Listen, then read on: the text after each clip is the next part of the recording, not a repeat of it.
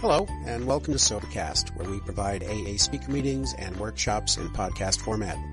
We're an ad-free podcast, and if you enjoy listening, please help us be self-supporting by visiting Sobercast.com, look for the donate link, and drop a dollar or two into our virtual basket. We hope you enjoy the podcast. Have a great day. going, everybody? I'm Taylor. I'm an alcoholic. And uh, Nikki asked me to speak a couple hours ago, so I haven't had much time to think about this, which may be a good thing. Um, I guess 10 minutes is enough to give you a quick synopsis of my life, or my drinking history, and all that, and what's going on now. So uh, I guess I'll just start from the beginning and tell you I grew up in a house where there was a lot of drinking. Uh, my father owned a bar. And uh, when my parents drank, there were a lot of parties in my house, and when my parents drank, it was fun for the kids too. so I always equated drinking with fun. Uh, from a very early age, I would I would drink my milk the way I saw my father drink his beer. I mean, I watched the way he drank it, how he sipped it, everything, and. Uh, and they were pretty liberal with it. I mean, he would ask me to go get him a beer, and I'd say, if I get a sip. And he'd say, sure. And I love the taste of beer from the very first time I drank it. Um, and then uh, I had my first drink, and I think I drank alcoholically very early on. Uh, it was a rapid progression for me. Um, when I was just, uh, I don't know how old I was. I was very young, and I'd stand in front of stores and ask for, and try to ask people to buy me beer. And I'd ask for a case. And I was a little kid, and they were like, "This isn't all for you, is it?" And I'd say, "No, no, of course, we have a big party." And they'd say, "Okay." That case was for me. So I would drink a six pack, and it would get me completely hammered, and then I'd save the other three. Um, but my really, my drinking really turned. Uh, just to give you a little bit of context, I grew up in New Hampshire. It was a small town. I grew up. My parents told me say hello, sir, to everyone you pass on the street. Good, you know, good morning, ma'am, or miss, or what have you. And I would do that. And then my parents split up. I moved to New York City at the age of 13. And there, people don't say good morning, ma'am, and good morning, sir, to every person they pass. I actually subsequently saw this uh, Crocodile Dundee in which he's doing that. And that's exactly what I did until this couple of Puerto Rican kids threatened to tear my head off. And I was like, oh, I guess you don't do that here. Hello is offensive to people here. Eye contact was offensive. So it was a big change for me. And not only that, I was 13, and I was 13 going on 13. And the kids in New York City were 13 going on, I don't know what. But the girls, every, all the kids have had sex, or if they didn't, they were better at lying about it than the kids that I knew back home. And they all smoked cigarettes and did drugs and were pretty sophisticated. They're going to clubs. So I felt like I had catching up to do, just to hang out with people. And uh, one of the ways that I caught up was through drinking and drugs. And uh, early in, I, a lot of you have heard this story, I think, but uh, early in my drinking, or early after moving there, my father asked me to go buy him a six pack. So I went down to the store and I went, put a six pack on the counter, and my father told me, "Tell him it's for me." I said, "This is for my father," and uh, he sold it to me. And the next day, I went back down. I got another six pack for me, but I said, "This is for my father." And he sold it to me again. And the next day I went down, I put the six pack on the counter, I said, I'm not going to say anything. Let's see what happens. He sold me the pack. and it was all over. I didn't know at 13 you can buy alcohol in New York City. I don't know if it's still that way, but you could then. And uh, and I was 13, who probably looked like I was 10. I don't know how old I looked, but I looked young.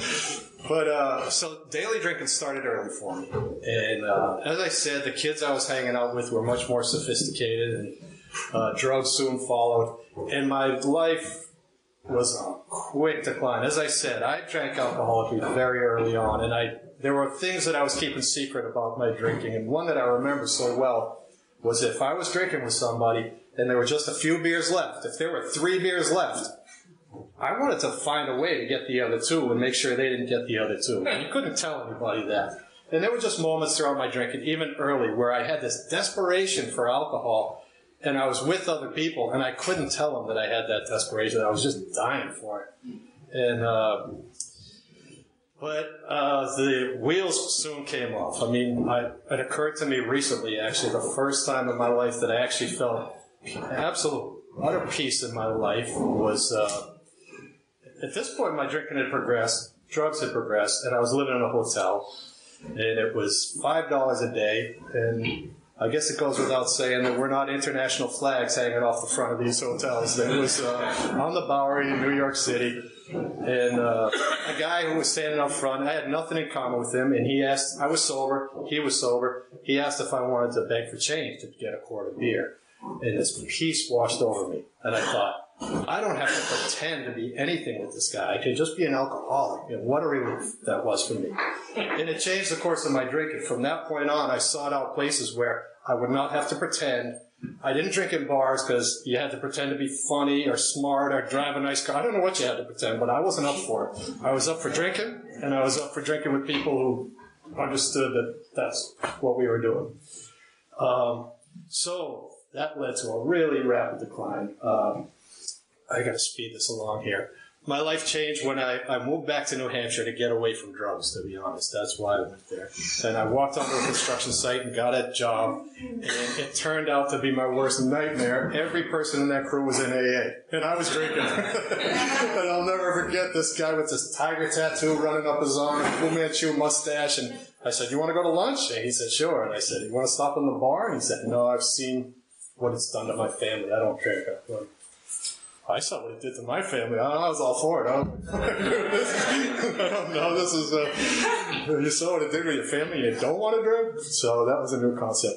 But anyway, uh, at that point, I was starting to get some of the symptoms of alcoholism without knowing it was a symptom of alcoholism. And one of those was panic attacks. I'd stand in the store and I'd fumble for change, and I'd be dying to get out of there, and thinking everybody standing behind me was watching me shake and freak out. And, uh, and I started to question what is an alcoholic, and uh, started to ask these guys that I worked with, and I finally made it to AA. To speed this along, and I was in AA for 16 years, and uh, I still wish I knew why I went out drinking. I mean, there were a whole bunch of things. I stopped going to meetings. I didn't pray. I mean, talk about not expanding your spiritual life. I was not doing that, and uh, and I went back out, and uh, I thought, with everything I knew, I thought the self knowledge was the answer. With everything I knew about myself and the emotional maturity I gained, I mean, I got sober when I was 22. I was just a kid. And then uh, now I'm much older. You know, I couldn't possibly make those same mistakes. And lo and behold, I found myself in the very same places that I had been before. Uh, I was drinking and uh, using drugs down in San Francisco at the 16th and Mission or the Tenderloin or one or the other. And uh, I don't know. When I quit drinking this time, I think it could have kept, I could have kept going, but it was. It, I knew the end was in sight. I knew the. I knew I was hitting a point in which uh, some of you have heard this before. Uh, near the end of my drinking, homeless people stopped asking me for change, and they'd look in my eyes and say, "Hey, what's up?" And I felt like, yeah, it's not long before I'm on that side of the equation, looking at uh, standing there asking for change. So now I'm in AA. I come back to AA, thankfully, and miracle of miracles. One, just showing up here, the obsession to drink stopped, and that was miraculous to me. And I have not had the obsession to drink since coming back to AA, and I think it was just because I, I don't know why. I was honest with someone. Number one, I was honest with my wife to tell her what I was doing, and uh, and I wanted help. And now I don't know what to tell you. Uh, my life is getting better, but I guess the thing I could say about AA is uh, it's asking a lot. It's asking not much in terms of, I mean, for what I get back in terms of going to a meeting once in a while and working the steps and meeting with a sponsor, I get a lot back for the little I do there. Where it's asking a lot is uh, every idea I had about everything is being challenged. Every idea I had about myself and who I was is being challenged. Every idea about how I thought the world worked is being challenged. And I think being challenged in a good way. Uh, but that's what's going on for me. And sometimes it feels like I'm a teenager again. And sometimes it's kind of scary. I was actually at a, uh, a commitment, an H&I commitment, and one of the guys at this H&I commitment was a rough crowd, and one of the guys actually had the courage to ask, and he was hemming and hawing. He talked for a while. He said, "Do you know what I'm saying?" And I said, "No, I don't. But keep going. I'll try." And finally, he came out and he said, "Is it scary getting sober?" And I said, "Oh man, man, that's a good question. Yes, it is. And it takes a type of courage that I did not."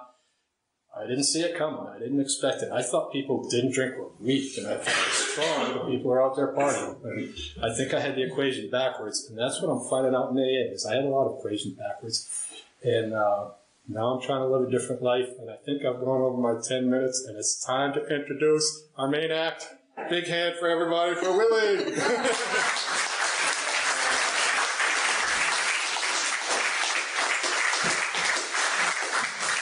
Wow. Thanks, everyone. Uh, my name's Willie. I'm a grateful alcoholic. Boy, I'm kind of nervous, you know? Bathroom's right there in case I have you know, issues, but hopefully I won't. Um, I got sober on March the 4th. I think it was March the 4th. It could have been the, the 3rd, but um, I figured the 4th will just keep you covered on that. In ni- uh, 1990, I came into these rooms. Um, I have a sponsor that I talk to every week, and I uh, reach out and work with other alcoholics on a daily basis, and that keeps me sober. I mean, there's a lot of other things that keep me sober. So, um, to start out, um, you know, it's it's kind of like I'm doing my four step all, all of a sudden because I really hemmed and hawed at my four step, and my my sponsor just said, just okay, you were born, and you know, so 76 pages later, I had my four step. But so, um, you know, I was actually born because my dad wanted a car. And my mom wanted another kid. So there it went. And they, my mom was a pretty heavy drinker. You know, she never really thought she had a problem with it because she started at 10 in the morning. And so I, I grew up um, learning how to be able to drink and uh, still be sociable and, you know, work and all that kind of stuff. And in fact, there's uh, family pictures of me just like a three year old with a big bottle of whiskey with a big grin on my face. And, you know, I remember those days. I remember the burning going down my throat and how it just made me feel really happy. You know, and that's how I was growing up. You know, I had to be the, the clown and I, you know, um, needed to fit in all the time. And, you know, I, I didn't always fit in, you know, because I had these voices in my head that, you know, told me that I was a piece of shit and that, you know, I, you know, was should just be a loner and all that, that stuff that went around in my head, you know. Um, and so um, I started drinking uh, because there was a family tragedy that happened, and there was a family that came to live with us, and um, and as uh, my stepsister stepped over her, you know, got out of the house, she grabbed a bottle of vodka. And when she got to our house, she was like, let's go drink this bottle. And I was like, yeah. So we went out to the schoolyard and we drank this bottle of vodka. I was 12, I think she was 11. And um, I, I was, I felt so at home. I didn't get sick. I was happy. I didn't have a care in the world. And um, it took me three years at the age of 15 to totally destroy my life. Um, you know, I drank all the time. I, you know, as, as a 12 year old, you know, I'd stay out till three, four in the morning. I would drink before I went to school. I drank during school. I drank after school. I drank all the time. Um, there are drugs in my story, and so I, I had that to help me stay up. You know, um, actually, first time I smoked pot, I didn't get stoned, so my friend gave me a tap of acid, so I got to uh, have that fun little trip. And, um, you know, but uh, I'm to stick to alcohol. Um, so by the age of 15, I uh, just, my folks had no idea how to talk to me. You know, um, they'd wait up for me at first, and then after a while, they just let me come in and you know, do my thing. And so at 15, they decided to give me away um, because they couldn't handle me. And so I was, um, they were either going to give me away to the state um, or they were going to give me to this family that I used to be able to talk to the mom, the parents. Right? And so if I was talking to the parents, there must be something good about that. Well, the thing is, is that my friend, his folks were into drinking a lot of wine and uh, dropping a lot of speed. So um, I was, of course, pushing it towards like I'll go, you know, stay with them, and um, and so that's you know that's what I did, and, and you know I think I'll just touch a little bit between those three years. You know, I had I was running from something all the time. You know, that feeling of just if I stayed in front of those feelings that I was having of total fear, you know, total anger. I mean, I was just running the gamut, not able to really identify what I was feeling.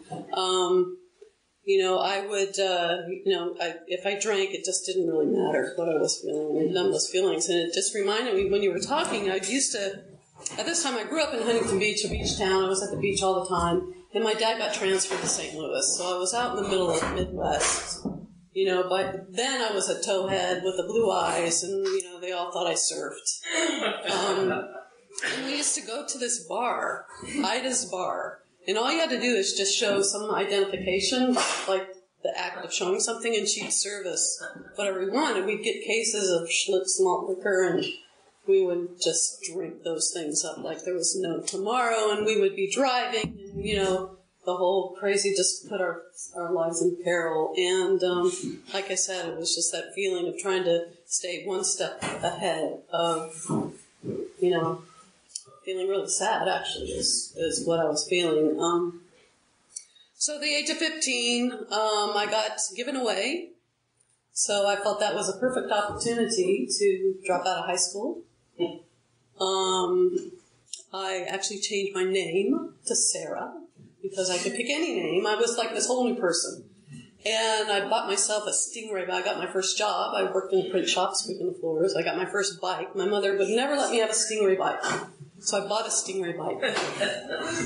Changed my name to Sarah. Didn't go to school. And um, and I'd go out into the country on my bike and just act like you know my mind. You know, my mind just had fun games with itself, and I just had this imaginary life going on, like I was in the Civil War. And,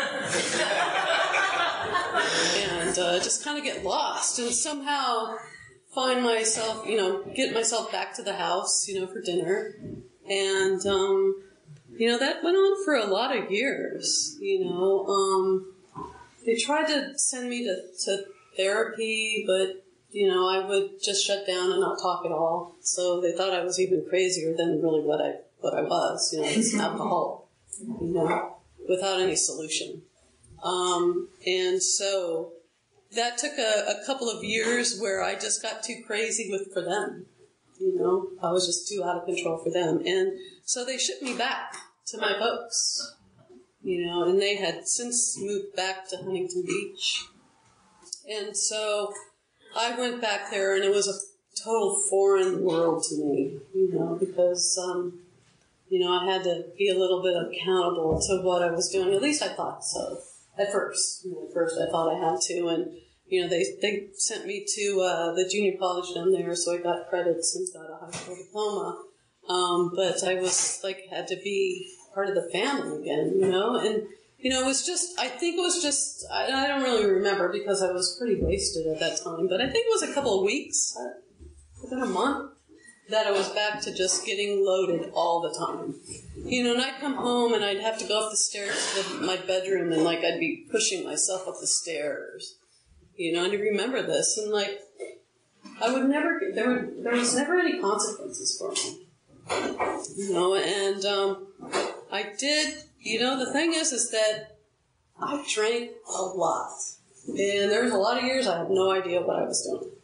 I have no memories. I mean, I have, you know, little snippets of you know, kind of, I almost hit someone in a crosswalk or, you know, or something like that. And, um, you know, I, you know, I, I, didn't really last that long at my folks' house and I moved out and, um, you know, did the, just drank all the time. I was running for myself, you know, um, and, uh, I ended up leaving Huntington Beach and, um, through a job I was working out in Phoenix, and I moved to Phoenix because I could smell the dirt. Because back in the back in the seventies, if you were, you know, if anyone knew Southern California, it was just smog. You know, it was just like it was so thick with smog you couldn't smell anything. So I was working in Phoenix. I went out to Phoenix, and it's like, you know, I could smell the dirt. And um, I called I called my boss and I said I quit you know, I had his car, the company car, and all I didn't see any issues with that. I thought, you know, I was I was fine in my head. I was fine, you know.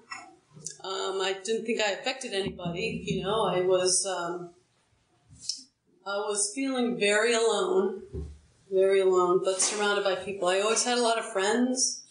I was always surrounded by a lot of people, but inside deep down in my heart, I was all alone. And um, I moved out to Phoenix, and I took two jobs, and I still drank at the bars because they stayed open until four. You know, and, and uh, out there you can like drive off the road and you'll just be in the dirt and you'll just you know and i you know it was it worked for me you know for a year but i missed the ocean too much you know i had to have that serenity of the ocean that the ocean gives me and um you know it took me um you know just i, I had a friend that was going to drive up to santa cruz a family friend in huntington beach driving up hey you want to ride i go yeah I'll get a ride. And I had uh, five bucks in my pocket, and I had my dog. And I got this ride. We stopped in Vegas, and I put a nickel in the slot machine in the grocery store and won, you know, 50 bucks. Went to the casinos, got 700 bucks. And by the time I actually hit Santa Cruz, I had my dog. I think about $50 in my pocket. And, um, and you know, it was it was a good thing. I was living down by the boardwalk, I was I knew where all the bars were that were open at six in the morning, six thirty in the morning. I always had a stash of alcohol under the bed. I drank at all the bars, and I would do anything for a drink for any of you to buy me a drink, or give me a drink, or I'd just steal your drink. And I never thought I had a problem. You know, I never really thought that I had any issue with alcohol. You know, I had an uncle that, you know, used to always have bottles in the trunk of his car and he'd do silly things, and I thought that was the alcoholic. I thought the alcoholic was, you know, you know, a bum in the street, you know, that was, you know, didn't take showers and, you know, was really dirty, and that was an alcoholic. You know, I had no really clue what it was. And, and so, you know, I, I did quite a few, I did 20 years of, of pretty good drinking. You know, I um, actually found myself homeless.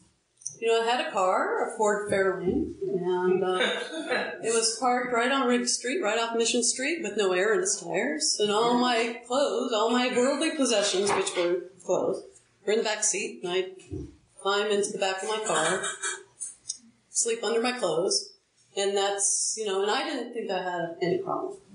I'd, you know, get up when the same sun came up and there was a McDonald's down the street and I'd wash up in McDonald's. You know, and um, I did that for about a year. But, you know, like I said, I really didn't have any issues. And, you know, every once in a while, this friend of mine would let me crash at their house, and I'd like go there at three in the morning. I, you know, for years I was doing this three in the morning thing. Um, you know, and I'd crawl and sleep on her sofa, and you know, I had to make amends to her and her family because she had a young kid then. You know, and I, you know, I'm sure I wasn't the quietest person around. And you know, there was there was a lot of things like that that happened. You know, um, you know, it was all about the drink, and it was all about taking being one step ahead of what I was feeling. And um, you know, even uh, during that time, I got a drunk driving, and it was you know some celebration. We won the softball game, and we went and drank quite a few pitchers of beer and then we went to some bar, and then, you know, we were, you know, doing donuts on Mission Street. And, you know, I think I was doing donuts on Highway 1 too. It was, you know, I, I like to do donuts in my car, and I, I felt like I really knew how to handle a car, and um, it always helped me a lot too if I had my dog in my car, because my dog would help me find my the way home. Like the dog would look down the street that I needed to go to. And, um, you know, it's pretty smart. Pretty smart. And, you know, I, I managed to get home or get to where I needed to go. And, um, you know, I, I got this drunk driving, and, and part of the program at Janus is that one of the means you have to go to an Alcoholics Anonymous meeting. And I, you know, was totally against that. I had no idea about, you know, Alcoholics Anonymous, and so I missed the next week of having to tell your story about going to a meeting. And so I made that one up, and you know, the when I did, I was like, you know, mumble, mumble, mumble, mumble something. And um, when the classes ended, uh, my friend showed up with a bottle of champagne and a car. And, well, that's, that's that was my little glimpse of Alcoholics Anonymous. That I beat the system, you know, that I didn't go there, and um, you know, it's it was you know life happened. Life, happened. There was a lot of life happening around me, and finally there was a an evening where I was in a bar and um, there was a group of people that were celebrating something, and I just wanted to find out what. You know, I wanted to make you know do my little scam and uh, see what kind of drinks I could get. And um, I found out that it was they were it was a dance club too, and so I found out that it was you know this person's one year AA anniversary. you know, and I was like, well, they're a friendly group, you know. I could probably have some fun with them, you know, of having something to drink. Not alcoholic, but you know, something to drink. And um, you know, it was uh, it was a funny it was a funny night. I who knows who knows why I, this happened. You know, um, you know, because mainly I, I I like going to that particular bar because I could do a quick run around the corner um, up the main street there downtown, and uh, if I had too much alcohol, I could um, I could like throw up in the gutter, so I could drink some more. And I was a pretty classy drinker. I was really classy. I, you know, never drank Budweiser. It was always, you know, the Beck's or Heineken, or, you know. Um, I did have quite a relationship with Jack. Um, in fact, my mother had told me that she was going to send me col- to college. She had stock in Jack, Jack Daniels, and so when I was drinking, you know, was, Jack was my choice um, because it was to my education. and uh, we did have quite the, the relationship going on, me and Jack. But anyways, back to this uh, this celebration for the one year anniversary. I I ended up uh, taking this person home, you know, because that was a thing that I used to love to do, and um, it didn't it didn't really last all that long. It was maybe a week or two. It's always a week or two because I don't remember. Drunk. A week or two, 20 years pass, a week or two. Um, and, uh, you know, this person couldn't hang out with me anymore. You know, because I was drunk all the time. I was loaded all the time. And they gave me their phone number. And they said, here, call me if you ever want to go to a meeting about Alcoholics Anonymous. And I'm like, yeah, okay. I stuffed it in my pocket. And, um, you know, it, it didn't take me too long, that much longer. I know that it was a month. it took me a month. And I was, um, you know, I, I uh, towards the end, I would stop drinking on my own. You know, I was proud of myself, and I tell my friends, I'm not drinking. You know, I did other things, I'm not drinking.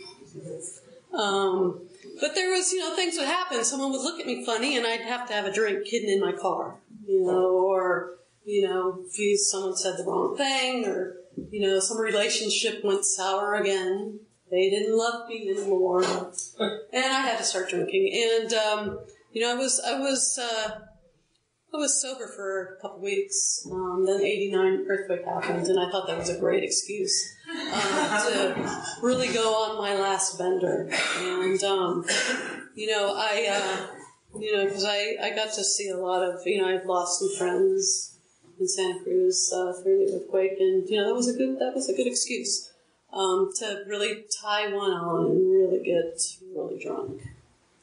And it took me till March of the following year to be on my hands and knees and drag myself to a meeting.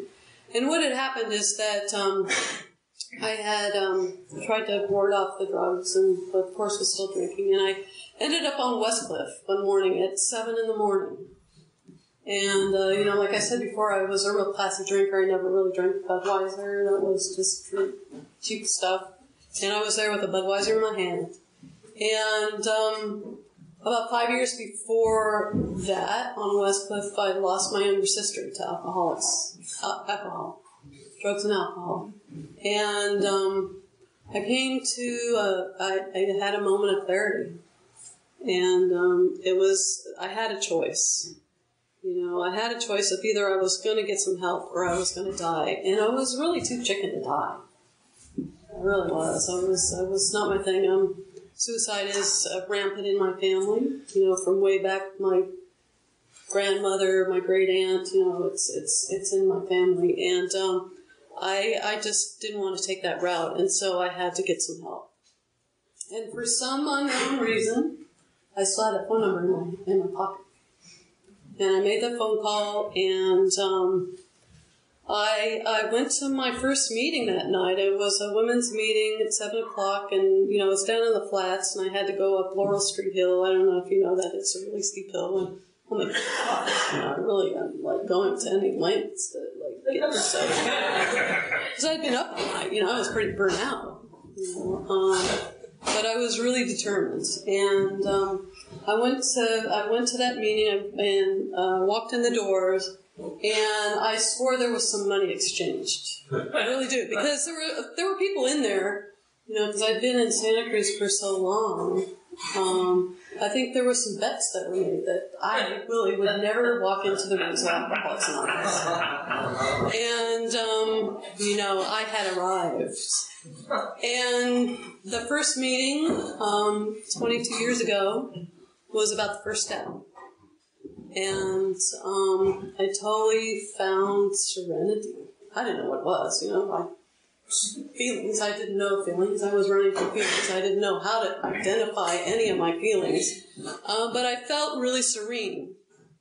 And the, the big thing for me is like, and I had said that, I said it earlier, is that I was um, surrounded by a lot of people. I had a lot of friends. I was always, you know, out there amongst a lot of people. But deep down inside, I felt so alone. And I was so scared. And um, they were talking about the first step, and the first word is we. And like I, I didn't have to do it alone. You know, I could do it with other people, and I could go through this process with other people, and not by myself. And that really just took me right in. And um, you know, I, I grabbed a hold of a group of people that had, you know, some sobriety, and I still have friends with them. Um, and they walked me through how to do this thing. You know, I followed in their footsteps of the, you know, the people that had done the steps that have deal with, you know, deal with feeling their feelings and not going out there and drinking again. Um, and I had to, I had to quit my job because I would drink with my friends at work. You know, was friends with everyone. Um, you know, and it was too hard. I didn't know how to like tell them, "Hey, I'm sober now." That was too scary for me. You know, it was like this reputation I had. You know, the cool person with the great bud and the alcohol. Always had alcohol. And so I quit my job. Um, I went to meetings all the time. Um, even in Santa Cruz, they would even let me go to the men's meetings. um, because I was that desperate alcoholic that needed to have the fellowship of a meeting. Um, and it took me uh, it took me about six months to get a sponsor because I just swore that she was going to say, "Oh my God, no, no, you're the you know you're you're a hopeless person." And um, you know, of course she of course she said yes, and um, you know, we went through the steps. We went through the twelve of twelve, um, page by page, and it took me a really long time to do that long seventy six page four step and it took me a few hours to read it, and her and her dog listened to me the whole time. And they didn't run out of the room and say, "Oh my God, you're one sick individual." Because that's what I thought. You know, it was like I, I really thought that I had, you know, I, I had really deep, dark secrets. You know, and these secrets of what I've heard, you know, in the, the meetings that I went to, that's what will get you drunk again, are your secrets. And um, that and your feelings, you know. That was kind of scary too. It's like, oh, you could do happy pretty good, but sad was kind of scary. Um, you know, and uh, amazingly enough, I, I've uh, kind of done the full step circle. That same sponsor is my sponsor today. You know, and we get to still do things, and I still call her at eight o'clock. My alarm goes off, and I'm like,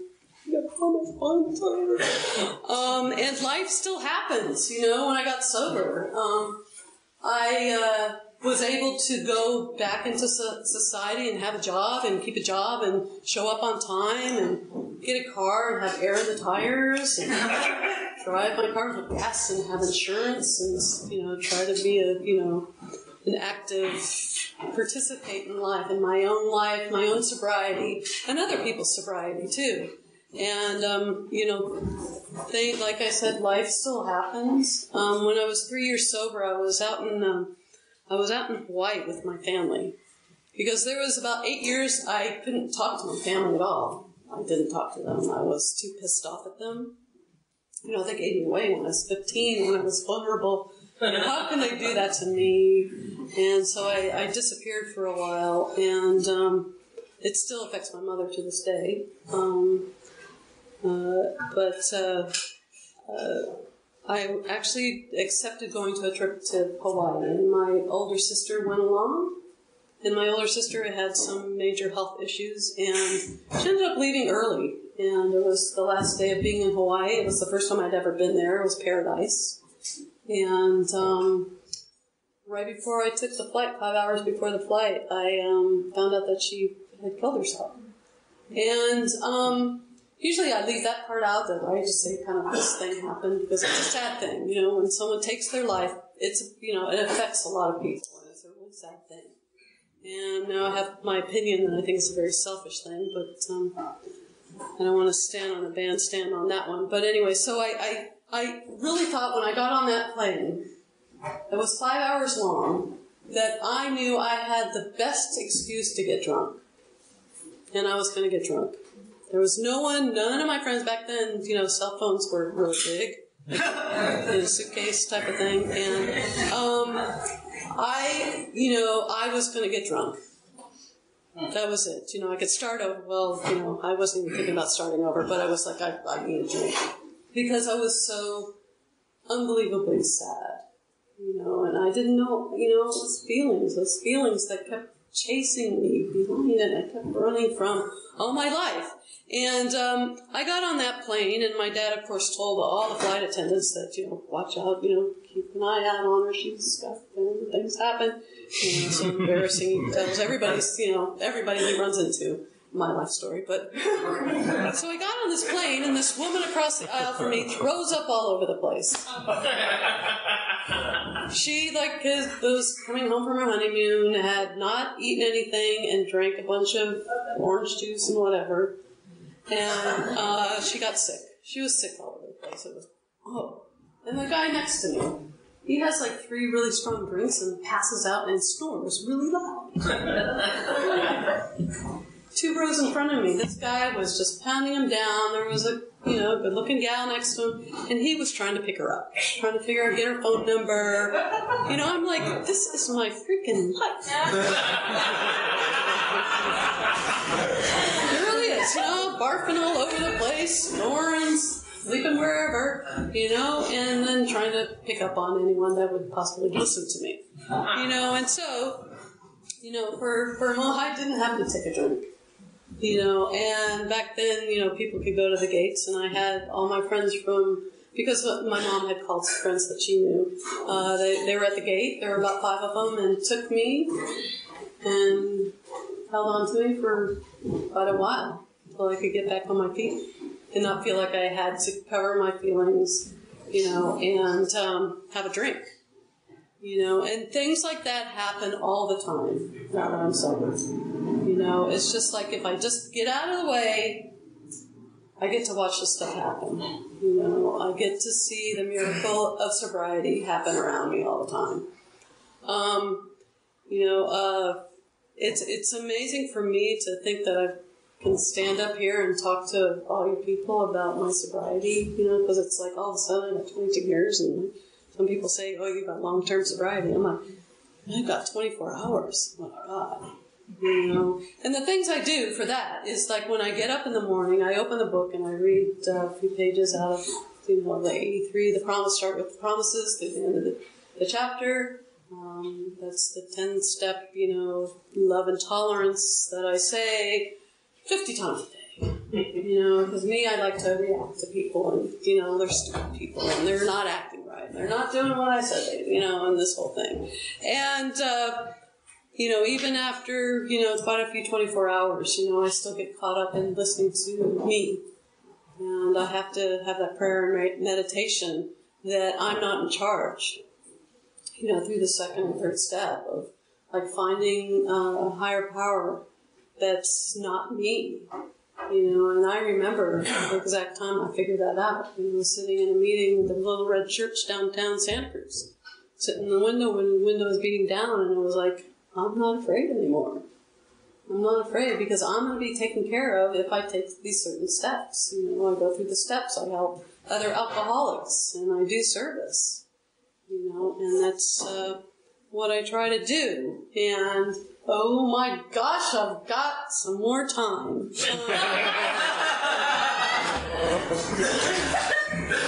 I was kind of scared because that was kind of, you know, I'm used to the 20 minute thing.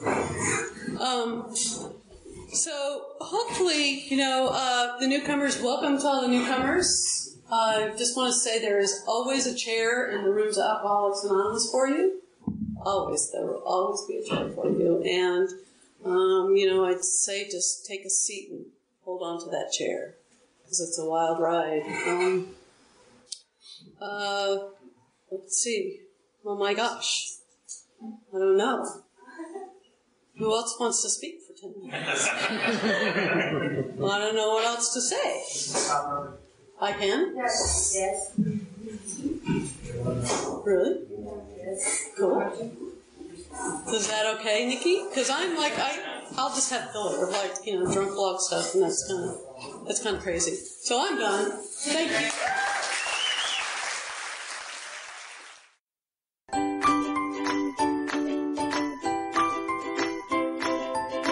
Thanks for listening. I hope you enjoyed the podcast. Sobercast is ad free, and we'd like your help in order to keep it that way. So if you'd like to help us be self supporting by pledging a dollar to a month, visit Sobercast.com and look for the donate links. Thank you very much.